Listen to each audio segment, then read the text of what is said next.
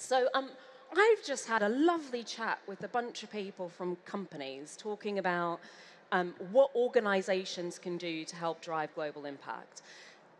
Firstly, before I dive in, can you tell me a little bit more about the work that you're doing for people who don't know as much about it? Absolutely, that would be my great pleasure.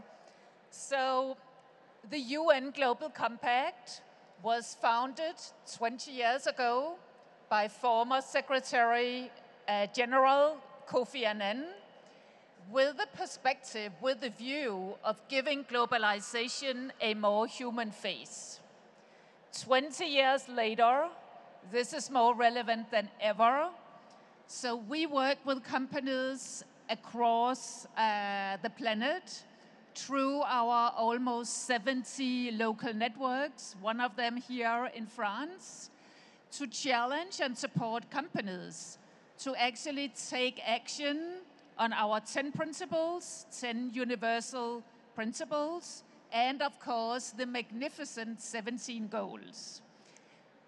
So, do you, um, because it's, what sorts of support do you provide to organizations? Because you, there, are, there are companies, large and small, out there who want to do a little bit more, but they maybe don't necessarily know where to start. What type, is it educational support that you're providing predominantly, or a multitude of other practical tools? It's many different tools. It's first of all an interaction with companies across the world. So we do many events, workshops, other ways of engaging with companies. We have many tools that companies can apply, the SDG Compass, the SDG Blueprint uh, for the SDGs. So that, that there are many ways that, that, that we support companies and we know that they look to the UN Global Compact for help and support. And we also know that four years into the goals, just as Paul was saying, many companies are also worried that the needle is not really moving behind the goals.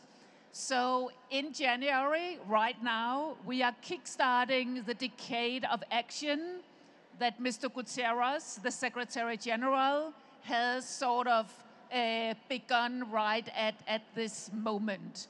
So, what we want companies across the world to do is to become more ambitious, set very ambitious targets like 1.5 um, degrees uh, uh, science based targets, or set targets on gender we suggest 30% women in management and on boards.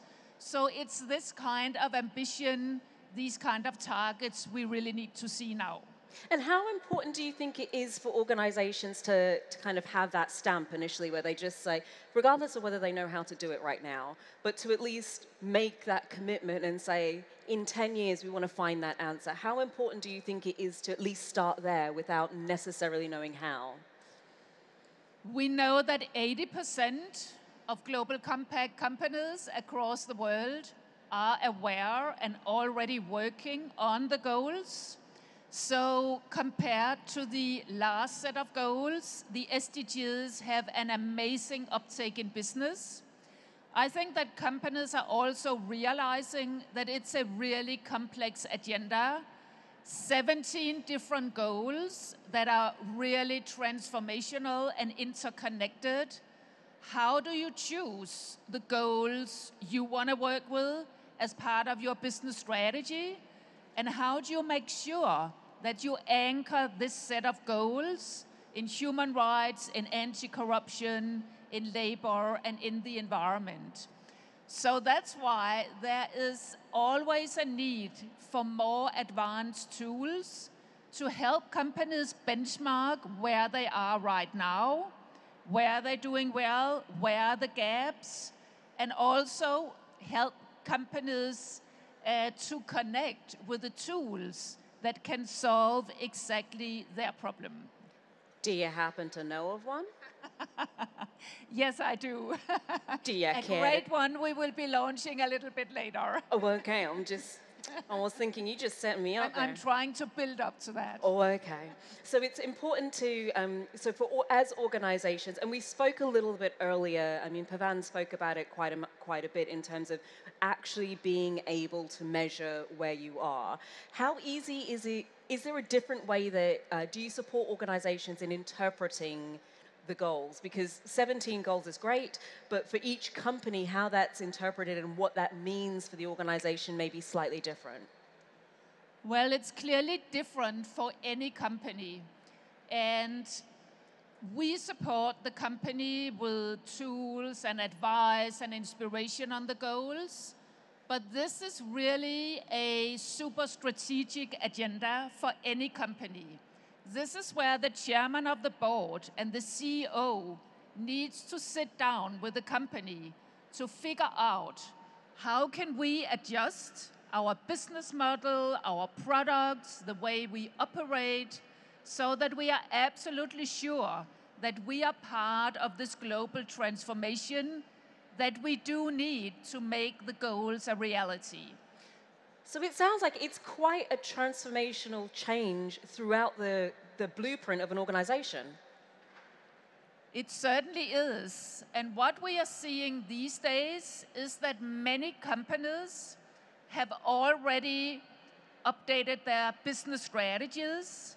They have selected, let's say, three, four, five goals that they are putting into the heart of their business. And they are basically making the global goals the goal for their own company as well. We know that making the global goals require big time transformational innovation, which is why it's such a pleasure to be here today and meet some of the great innovators because we won't make the 17 goals by um, incremental innovation, improving a little bit what we are already doing. It is a big step up for the world, and it requires transformational innovation. It requires partnerships. It requires taking the business strategy to a completely new level. But you just saw some of the business people in the panel before. And if you ask them, they will tell you that it is making it easier for them to attract the right people to work for the company. It is improving their credit worthiness. It is helping push up their share price. So there are so many benefits for companies in doing their business in a responsible way that it is simply the way forward. It's the only way to do it now. It's the only way. And what's your role in supporting? So, I mean, I'm can now I'm now connecting the dots. It took me a minute, um, but I can see now the importance of the, of those, those sort of organizational collaborations because when it's that transformational, actually being able to understand things to do that, st- that take it from being something you've written on a piece of paper one day in a boardroom to something that actually means something within organizations where do you think companies need to start so that it's not so that it's not just something we're playing lip service to, but it's actually something that builds momentum? Well, a good way to start, no matter which new initiative you want to do in a company, is to start by doing a baseline. So figuring out how are we doing towards the standards that are out there. So I think that's a great starting point. And you can do that, of course, on the 10 principles. You can do that on the global goals. We always want to see the two in combination uh, because that gives a really solid uh, entrance in, into the goals. And I just want to add what we are also experiencing more and more is that the financial sector are getting focused on the global goals, in particular on the areas that pose a big risk for investments, clearly climate, but also many other areas like how are companies addressing gender parity, how are companies are working in partnerships. So the fact that the financial sector has picked up this agenda is another very interesting, how should I say, inspiration or push for companies. And I think um, integrated reports, annual reports from companies in the future will look very empty without the selection of global goals that the company has chosen to make a contribution to create the world that we all want. So I, I've got itchy now, and I just need to know what this announcement is.